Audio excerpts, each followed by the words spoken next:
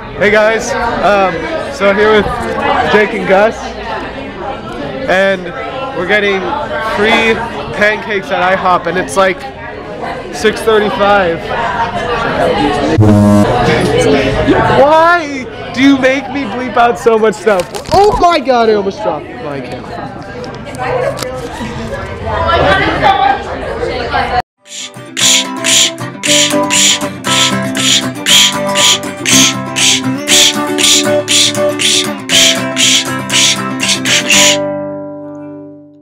It's a little late to uh, start vlogging again because I think everybody in my house is asleep because it's 12:18.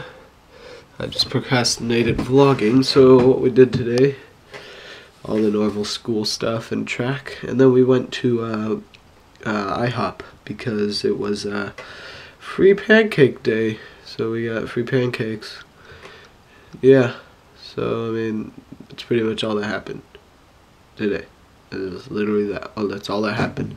Literally nothing has been going on this week and last week. So yeah, hopefully this meet this weekend is good. Jake's not gonna be there. Um, started watching uh, Attack on Titan. Uh, it looks cool, but I mean, it sort of doesn't make sense, or how they're gonna make a story out of it. Like they sort of just told the story in the first episode. Something on the screen, not the screen, the, the camera.